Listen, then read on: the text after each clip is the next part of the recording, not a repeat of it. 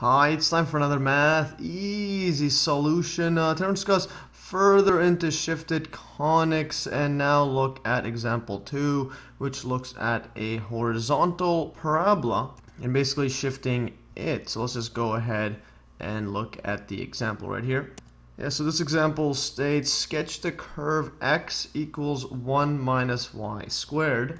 Yeah, now uh, this is a pretty easy example to sketch, but uh, what I'm going to do is I'm just going to follow the steps in the, in the shifted conics yeah, methodol methodology that I went over just because it's good to understand how uh, we can shift them because it's not always going to be this simple, the equation. Yeah, so uh, what we'll do is first recall from my earlier video that if we shift a parabola, just a basic vertical parabola, say vertical parabola like this, vertical parabola, so if we had one like this y equals to x squared or y equals a times x squared just add a constant then we can shift this. So we, if we shift what we'll do is uh, y minus uh, I'll do y minus k. This equals to a and then x minus h. So if we do this what happens is we shift from the vertex going from yeah so right here vertex here is the origin. So this one is the origin and then it goes over to here where now it's going to be h and uh, k.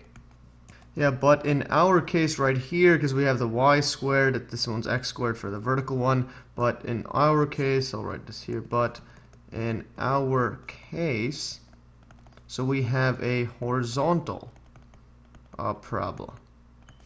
Yeah, parabola like this.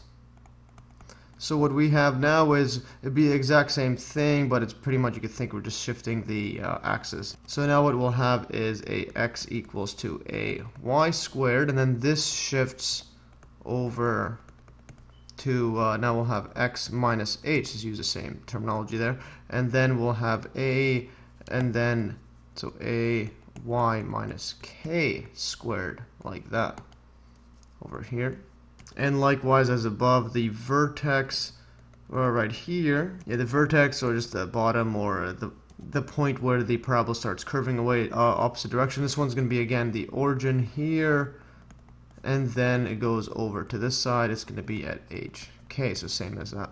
And to see this visually it will look something like this over here. This is the x this is the y. So if we have a horizontal parabola like this this one is going to be x equals to yeah, x equals to a uh, y squared is actually on the negative side. I'll just make it uh, positive for now because because this one here we're, we're dealing with is actually negative. It's going to go that way. But we'll just draw this like this. And this one is our x equals to uh, a y squared. So notice here the origin right here, 0, 0 is the vertex here, and then you could just uh, think of this as the new y-axis because now it's probably going upwards to the x if you were to rotate it. And now what would happen is if we were to shift this, this would go somewhere like, yeah, like over here, and I'll draw this in red. So let's say, let's just say we were shift this whole thing over to here, and, or somewhere further away, like here. And now what we have is this new, and it's exact same thing, it just goes over to it like this. And this is going to be now, shifting it like this, I'll just write shift. And draw this uh, a bit better so it looks uh, pretty much the same opening like that. And now at this point will be h and k is a new vertex here. And then the equation is just going to be, uh, this is just going to be now x minus h equals to a and then we have y minus k squared. So this is the exact same thing as for the vertical, but now we have horizontal. Look something like this. Yeah, so I just wanted to review that just to go follow this methodology pretty strictly. Yeah, and now what we could do is look at our equation here. So x equals 1 minus y squared.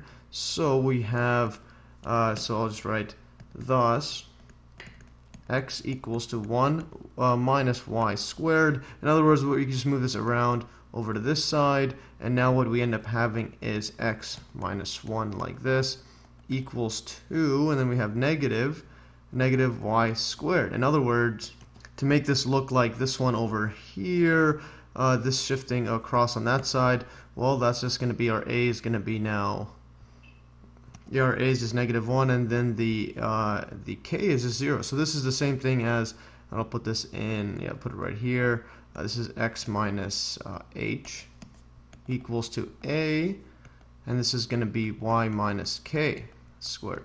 So then what we have is h equals to 1, a equals to negative 1, and k equals to 0 right there.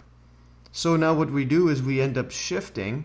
So the new vertex right here, let's write vertex is, uh, remember it's going to be hk. Now this k is going to be equal to 1 and 0.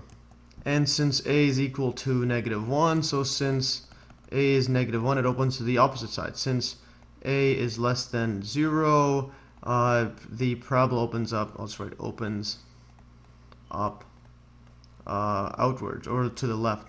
Opens up leftwards. let's make up words right now.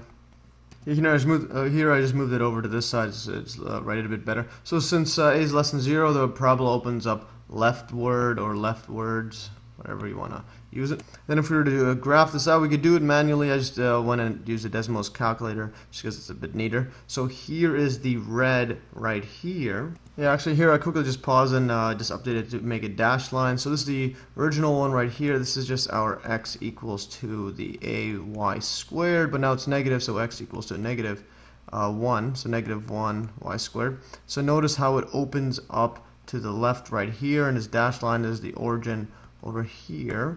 0, 0, and then when we shift it over to this side, all we're doing is basically just shifting it over to this side right here. This is at 1 and 0, and it opens up the exact same to the left like that, and again, this is our x equals 1 minus y squared formula. So yeah, that's uh, yeah, that's all all for today. Then that was just a quick uh, example video, and I just wanted to uh, just drive the point home on how the shifting works and using the basically the same methodology that I went over in my earlier videos on shifting conics. And yes, hashtag nice. Anyways, that's all for today. Hopefully you learned from this quick video. And uh, yeah, like always, you can download these exact notes in the link in the description below, as well as viewing these notes on Steem. If follow me at MES, I'll be posting the link to these notes in the description as well. Anyways, all for today. Also, make sure to check out my uh, private uh, Discord channel and math forums and post whatever cool math or science related stuff you find. Anyways, that's all for today. Thanks for watching and stay tuned for another Math Easy. So